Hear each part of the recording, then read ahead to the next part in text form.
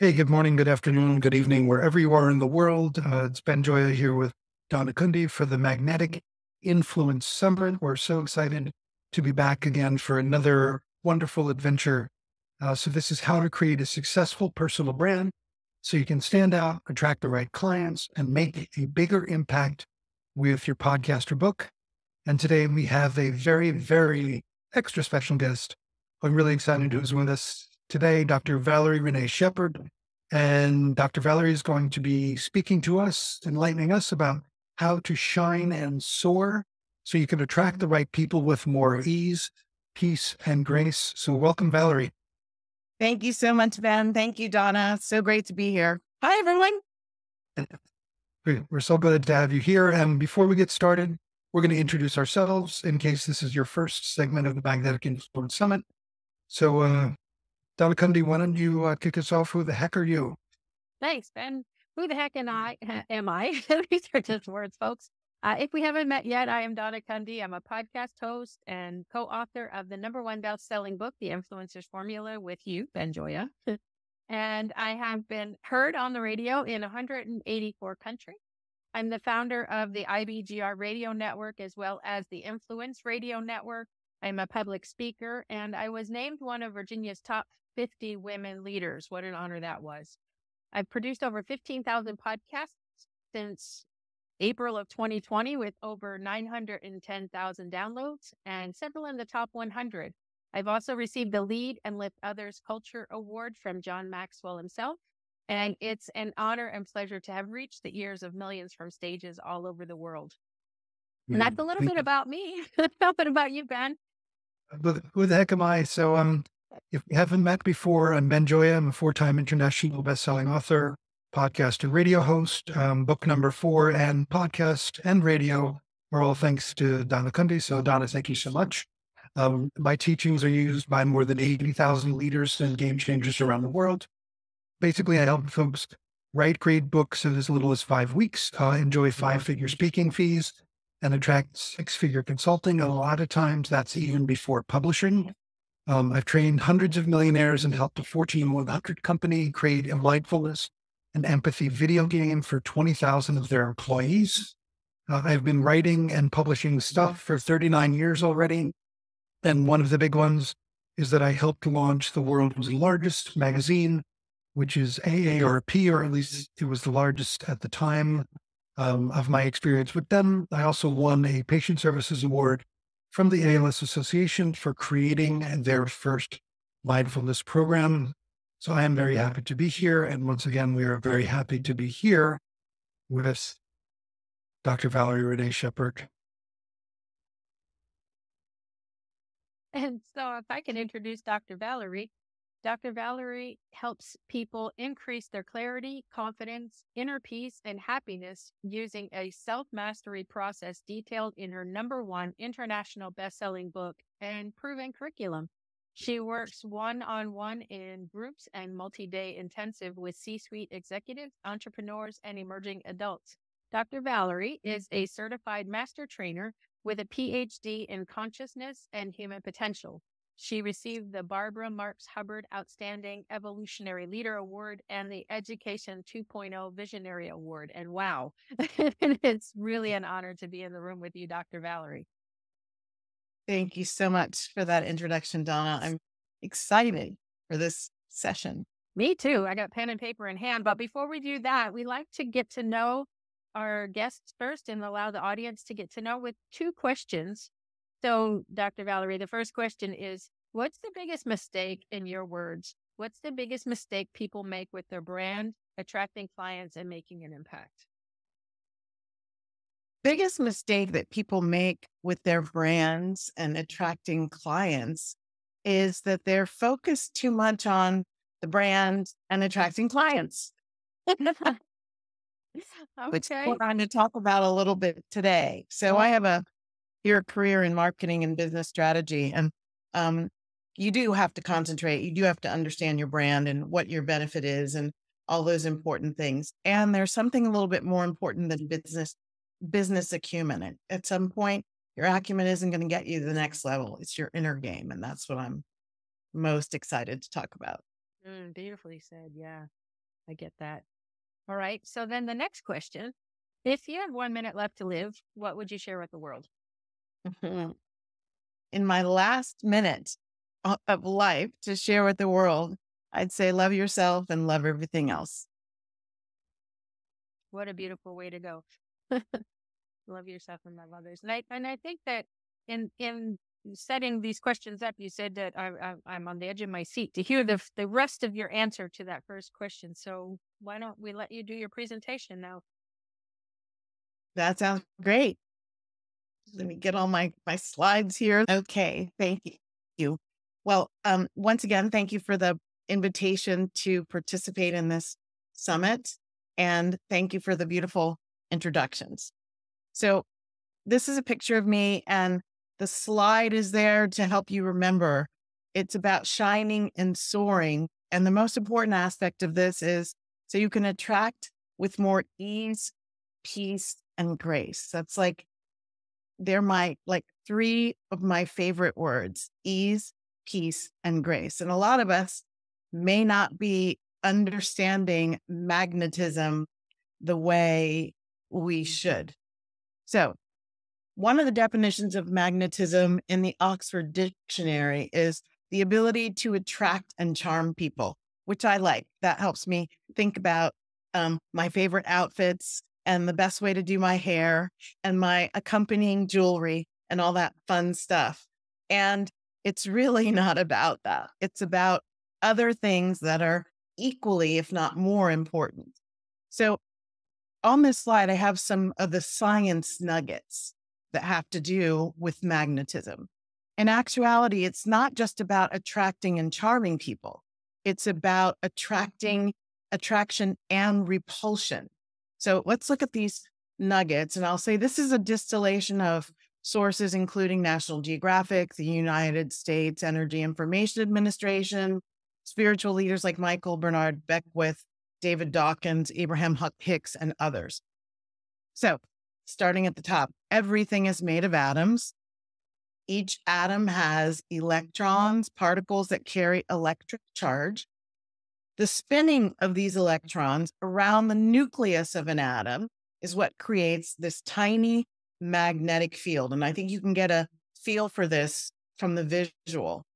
This field results in the attraction and the repulsive forces between objects magnetism in humans is a quality that makes someone very attractive or very repulsive when you're in their energy field. And you, of all things, you have the biggest impact on your own attractive or repulsive force. Um, visually, what I like on this slide is Alex Grey's image does a really beautiful job of showing um, a web. It looks like a net of light, net of energy going through this being, surrounding them holographically, which supports the idea that everything in existence is interconnected, part of an electromagnetic vibrational frequency of energy. Um, I've heard to this referred to as the net of light, the web of light. Spiritually, this interconnected web of energy is known as life source that connects all creation. So, what does that have to do with what we're here to talk about? I'm going to keep going just to give you a couple little more nuggets of background. So, we're going to bridge from magnetism basics now to this concept in humans of vibrational frequency, which some of you may have been deeply steeped in, others may not know as much about. We're, we're just on the surface right now. This vibrational frequency is the rate at which your body cells vibrate and oscillate. Um, this visual of the vitality, tone, and altitude scale visually represents dynamics that have to do with what's happening with humans throughout this spectrum of energy. What you see at the bottom in red, low vibration energy, and what you see at the top in purple as high vibration energy. The whole thing being the frequency spectrum for humans. So, cells that vibrate at a higher frequency are full of energy and life force. They're super healthy. They send out um, a vibration that is powerfully attractive and energizing to others. And there are lower vibration oscillation of your cells, and those have a frequency as well. And they also send out energy to, that people can feel subconsciously, consciously. And they also influence the health and vitality of your physical body. We're not going to go through all the dynamics on this slide. I just wanted the visual representation there. This is a visual that uh, the spiritual being Abraham Hicks has uh, came out of that a book, one of the books of Abraham Hicks. So this is the visual of human vibrational frequency that I use the most often in my practice because of its simplicity. And the way this frequency works is your thoughts, our emotions, our wills, um, our moods, our perspectives, our uh, interpretations, these things carry that vibrational energy. Every thought or mental state has a corresponding frequency. And that's the frequency that is going out there. The higher your vibration. So on this slide, the higher ones are joy, empowerment, passion, enthusiasm, positive expectation. So positive thinking, appreciation, gratitude. These are at the higher vibrational spectrum. So the higher the vibration, the longer lasting the effects are. The lower that the vibration on this slide, you'll see things on the right hand side worry, discouragement, blame, anger, fear, some of the worst guilt, unworthiness, insecurity toward the bottom.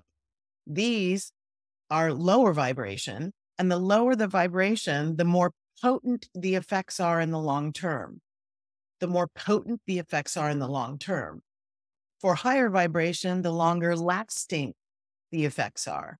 So, are you starting to get a feeling for what I mean by magnetism and keeping your vibration in mind as a part of establishing and maintaining your own magnetism? So, moving on, living in harmony with universal laws. So, this is the most important nugget distilled kind of from the previous three slides about vibrational frequency and energy dynamics. You're always attracting, excuse me, you're always activating the law of vibration. You will always attract who you are being, not just what you are thinking about. Law of attraction kind of got a bad, um, a misunderstanding that I could just think some things and everything would be fine and it's not completely the whole story. So it's who you're being is what you will attract.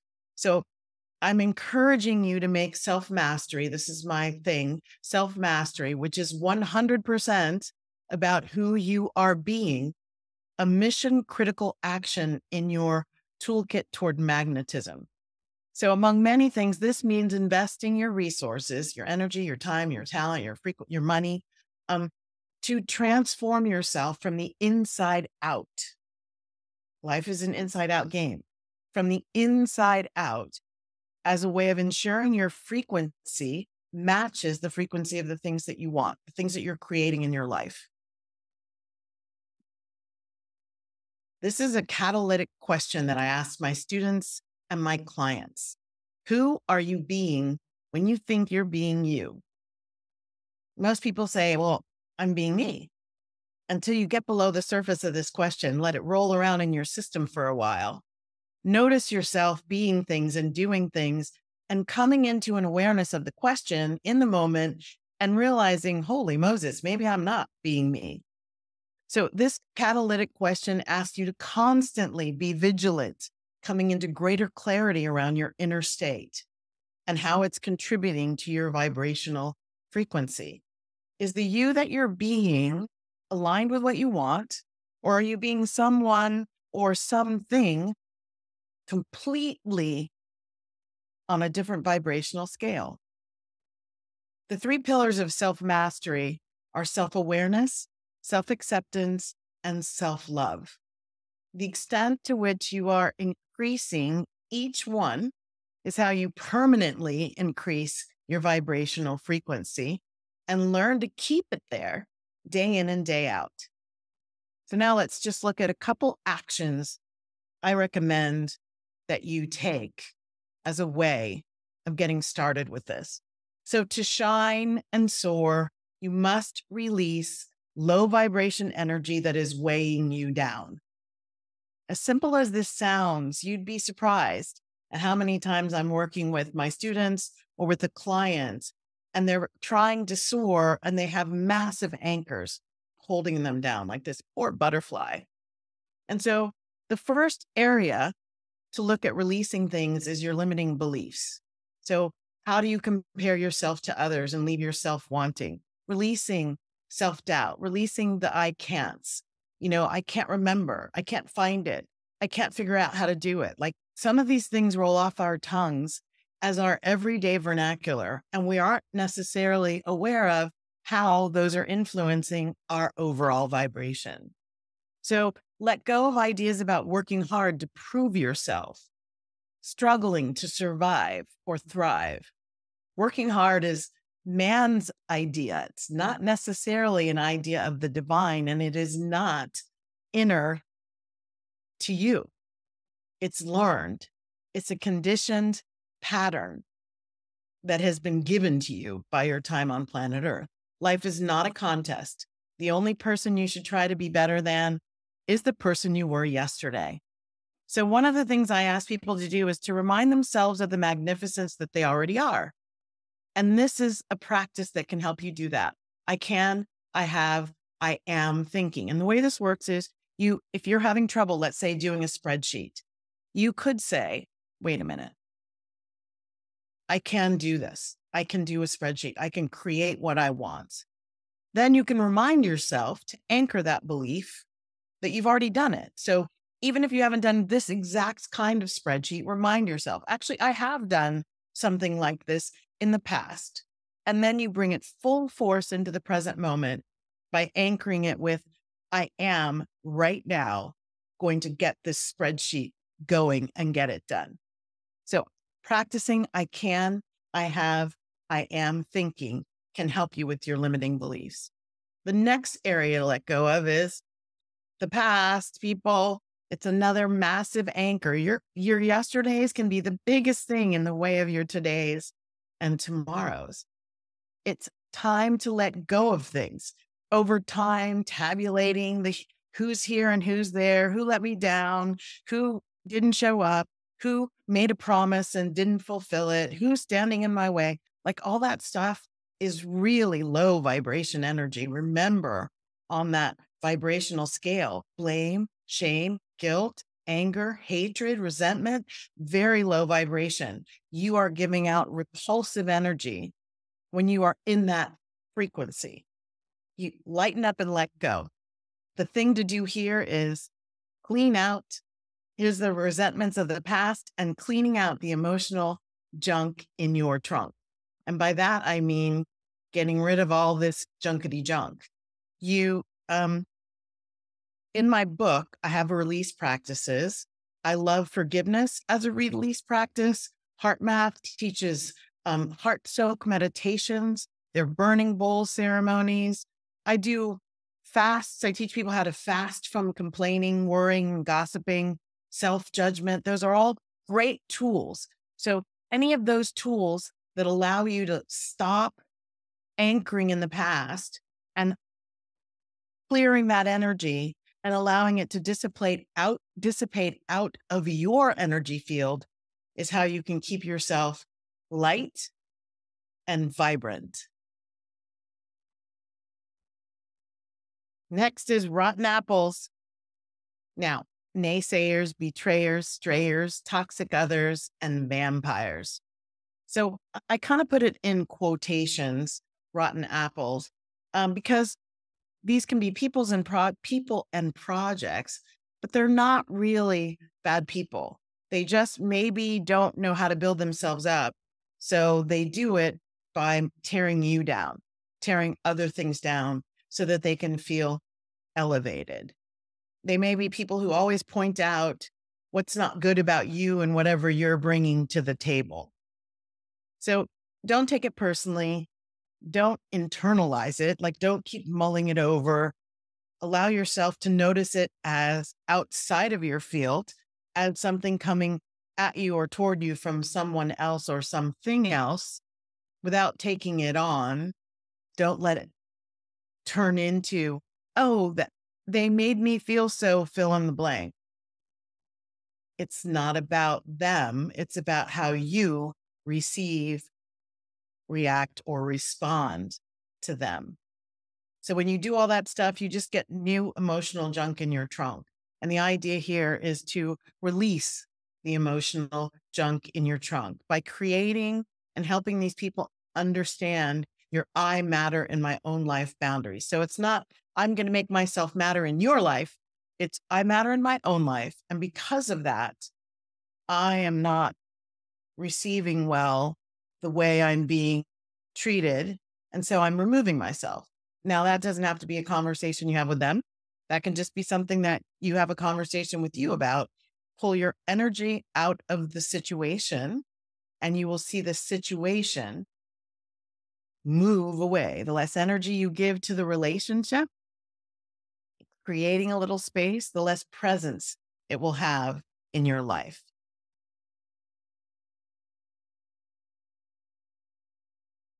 So, next, now this is very important. So, with those three big buckets in mind, as you're going through the things that you are committed to creating as you in your life, in your field, in your um, projects, in your organizations and teams, in your families, as you are looking at the ways that you are going to step forward and let your light shine its biggest, boldest, and brightest. Faith and trust are two critical elements, two critical elements. So when you think of faith and trust, I've got these definitions faith, seeing light with your heart when all your eyes can see is darkness. Can you imagine a time like that?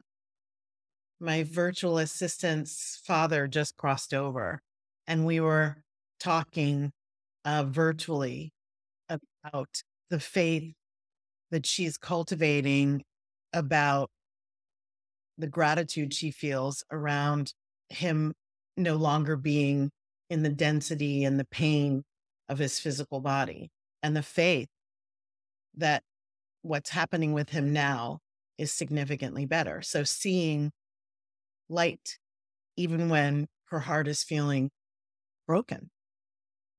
And then trust carrying you forward into action despite that voice of fear saying, stop.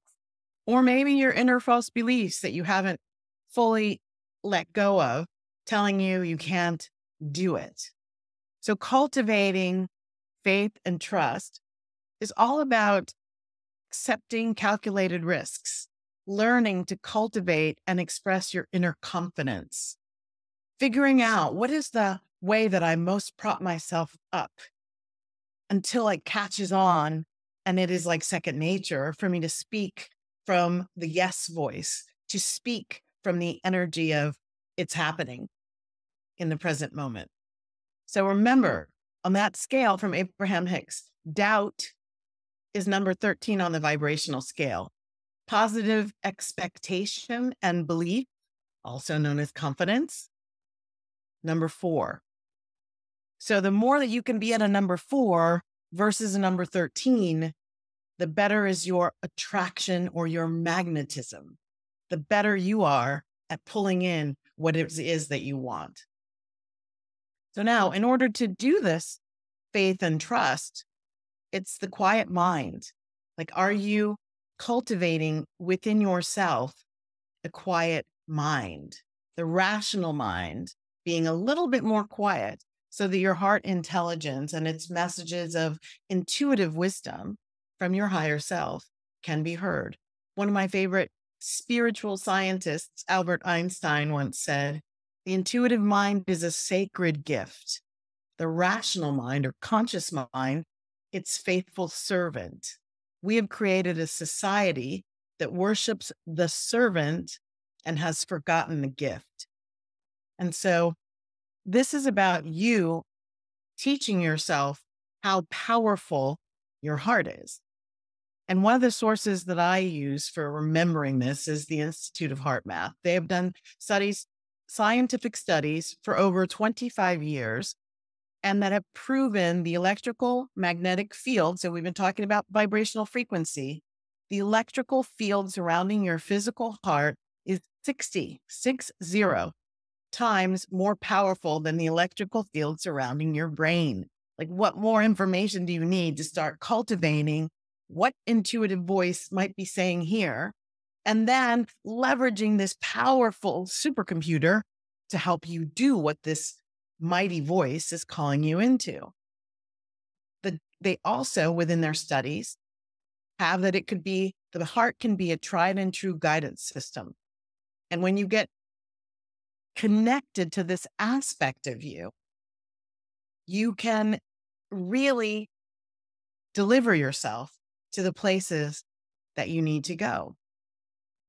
This integrated aspect of you, known as the higher self, your higher knowing, your intuitive self, higher consciousness, your divine nature. These are all some names I've I've heard and I've used to describe this intuitive voice that wants to guide you to your highest good. When you've connected to it, you become whole. You expand, expand your power to create, to overcome, to persevere, to stand tall, to succeed. And yes, indeed, to shine and soar. And remember, shining and soaring, it's it's not about your credentials or your accomplishments. It's not about your status. Shining and soaring are fueled from the inside out. Life, all of life, is an inside out game. The frequency that you're on when you're doing what you do, what you do, or being who you believe you want to be, being who you came here to be, ensures you attract what serves you in the highest and best. So this caricature uh, is was made by a student of mine, and it puts me into my uh, logo icon, Spirit Dancer. Uh, it's a part of my trademark, and what people have told me it communicates a heart centeredness, like a spark coming from the heart, compassion, tolerance, belonging, loving, oneness. They talk about joy, gratitude, they talk about a presence willing to be seen and heard. And they talk about the energized nature of health, healthy body, mind, and spirit.